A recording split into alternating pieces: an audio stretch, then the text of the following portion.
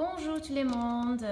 I'm at school today um, and you are at home, working from home. And some of you said that you were having some difficulty with G. So I'm just going to give you a quick explanation on how to do G.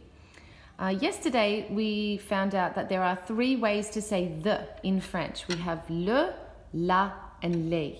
Okay? And there's three different ways because every single noun, and a noun is a thing, um, is given a gender in French.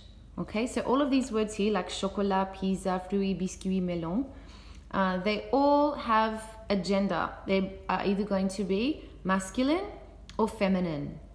And if it's something down here like biscuit with an S on the end, it's a plural.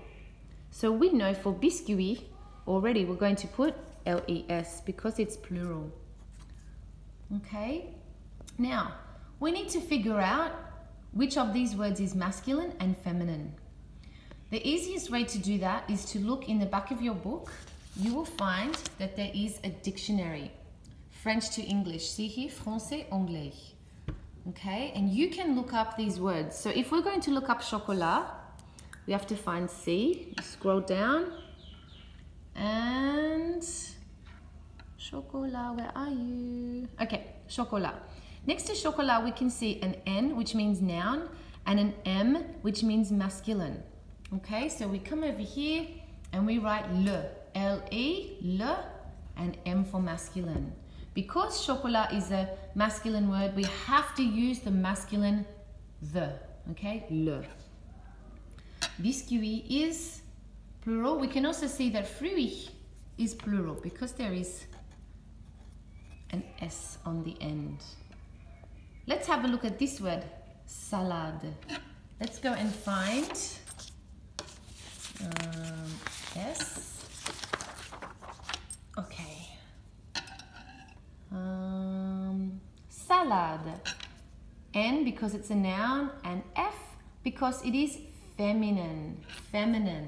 And we know that if we are doing a feminine, the, it has to be la. L-A. L-A, la, and put an F here for feminine. Okay. See how you go with the rest. Um, you can look up these words in the back of your book. Look to see if there is an M or an F next to it. Uh, don't forget, look here, raisins, plural. Let's do P here, plural, plural, raisin,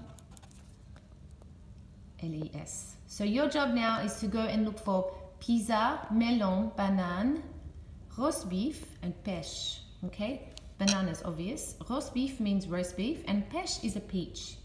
Okay, good luck. Thank you so much for um, working well at home and for submitting your work to me. Bonne journée.